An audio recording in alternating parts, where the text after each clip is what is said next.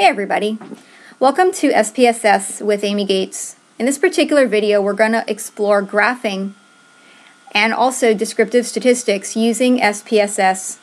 The data file that you're looking at now is called stat underscore grades and this file contains variables and information about students in a class such as their gender, their ethnicity, their year in school, their previous GPA, their IQ, and so on. To learn more about the variables in this data set, we first need to click on Variable View. When I click Variable View, it gives me a list of all the variables contained in this data set. It also gives me an idea of what kind of variable each one is, such as gender, which is a nominal variable. It is also a discrete variable. And further, I can see that the values or the labels of gender in this case are one for female and two for male. The same is true for ethnicity, also a discrete variable, and has labels of 1 through 5 for American Indian through Hispanic. I also have continuous variables in this data set, such as IQ and previous GPA. These are both scale values, meaning that they're numerical. Now let's go back to data view and take a look at graphing. Let's suppose the first thing I want to do is I would like to make a graph of a single discrete variable. I'm going to choose ethnicity to look at. Ethnicity is a discrete variable and it can take on values from 1 to 5. And we saw that those values are just labels for the different ethnic groups. To make a graph of this single discrete variable, I can click on Graphs, Chart Builder, and you can see that I've been using SPSS before, and so whatever I did last time is still in here, and that doesn't matter. You can just click on Gallery to give you a list of all the different choices you can choose from. And I'm going to use the mouse to move this stuff back over where it was so that it's not there anymore.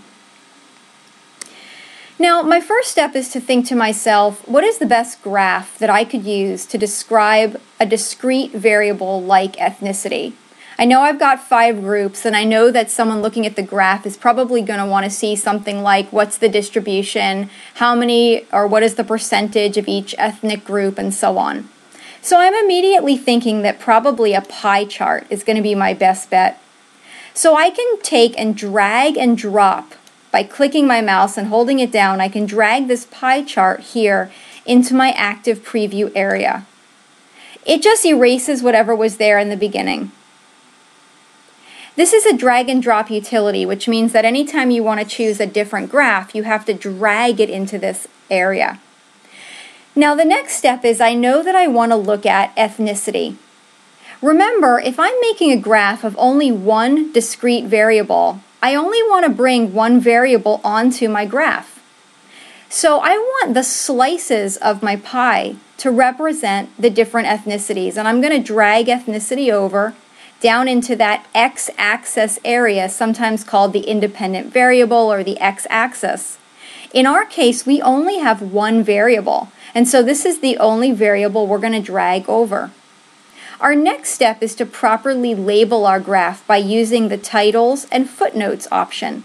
I'm going to click on this tab, and I also can see over here on the right hand side SPSS is keeping track of all the things I'm doing and it's going to allow me to make any changes or alterations to my graph using the element properties box. But first, I want to create the option of adding a title to my graph. And look what happens when I check this title box. SPSS adds the title option to my little elements over here to the right. I can also add a subtitle. Notice that now it's added a subtitle option and I can even add a footnote if I want to. And now it's added the footnote option. Now that I've added all my options, I need to fill the content in. So I'm going to scroll up and I'm going to start here at the x-axis. Let me actually scroll down a little bit. Ah, there we go. We're, we're actually quite fine with our x-axis. We know we want it to be ethnicity. So I'm going to go down to the title. In this case, my title is the ethnic groups in our class because this is our class data. Now, after I create a title or make any changes to this area, I have to apply those changes in order for them to stay. So I'm going to click Apply. Keep in mind that when I apply the changes, I'm not going to see them over here. I'm only going to see them when I create the final graph. Now I'm going to scroll down to my subtitle. I want to put my name on here, but your subtitle can actually represent more information if you want it to. For example, instead of my name, maybe I wanted to put the name of the data set. Maybe I wanted to put from data set grades under, I'm sorry, stat underscore grades, I believe it's called, dot SAV. And this will tell somebody which data set I've gotten my information from. And let's make it perfect. Now I'm going to apply that. Finally, I gave myself the option of a footnote, and maybe there is where I want to put my name or any other information. Remember, when you build your graph, the key thought you want to have in your mind is what do I want my viewers to see? And what information do I want them to gain from this graph? Now I click Apply, and I'm going to click OK. SPSS creates this graph for me. Let's scroll down so we can have a good look at it. Here's my title, the ethnic groups in our class, from dataset stat underscore grades, that's my subtitle. Here's my footnote by Ami Gates. Here are the different ethnicities in the class, they're color coded. But I feel like something's missing. Whenever you make a graph, you want to take a good look at it and think, is everything there that I want to see? In this case, I would actually like to also see the percentage values of these pie, pie slices. So I can double click this graph to add further options. It's a very cool SPSS option. Double clicking and it pulls the graph up in a separate window and then I can choose options if I want to change the title or add text or footnotes and I can also choose elements. In the elements option, I can show the data labels. Well, that's exactly what I want to do. So I'm going to click that. And the default is the percent, which is what I want. So I don't have to make any changes here. I'll just close it. And if you want, you can even move this over so that you can see that what you want has already happened. So you're good to go and you can just close it up. Now, if I click outside of this edit box, it'll recreate my chart for me. And now it's all set and ready to go, and I can look at all the different ethnicities in the class and I can see their percentages. And that's exactly what I wanted as a graph of my discrete variable ethnicity. If I wanted to paste this into a Word document, I would right click in this area, choose Copy Special.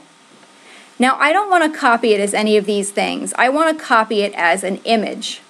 Then click OK. Once I copy it as an image, I can open up a Word document and I can paste it right into that Word document. And there it is. In our next example, we're going to create a graph of a continuous variable. In this case, I'm going to choose previous GPA. It's definitely a continuous variable. It's got all kinds of decimal values and it can take on any values. Remember, discrete variables can only take on whole number values, whereas continuous variables can take on any value. Again, to create a graph, I'm going to click on Graphs, Chart Builder.